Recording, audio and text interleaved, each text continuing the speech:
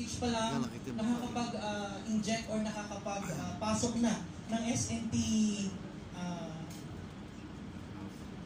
inputs doon sa planning. And we also have the iStart program. So ito, marami tayong pwede pa kong pag-usapan, pero I'd like to take this opportunity po, sir, na we really need your help and cooperation uh, maybe when we started the implementation, yung full uh, rollout of the Smart City program that we are currently so thank we you very much. discussed earlier natin sa smart cities. Yes. Doon talaga tayo papasok ng gusto.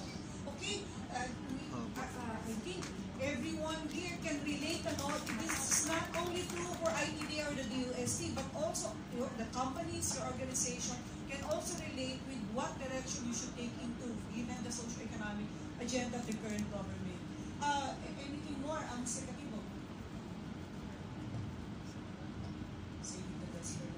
Uh, thank you very much po. And salamat po sa opportunity na makasama sa uh, activity na ito.